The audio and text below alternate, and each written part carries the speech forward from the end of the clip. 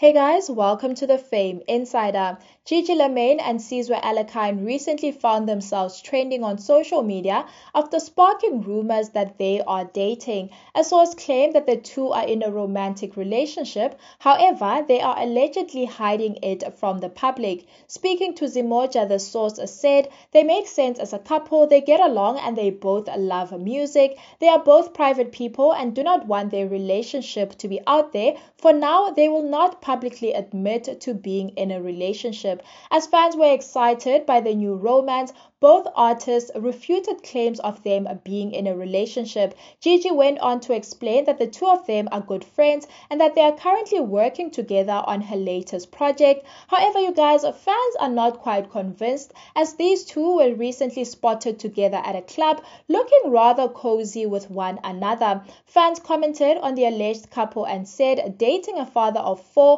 plus divorcee is diabolical. Another fan said, I hope he doesn't make her a single mother too. This brother is well known for his ability to turn women into single mothers.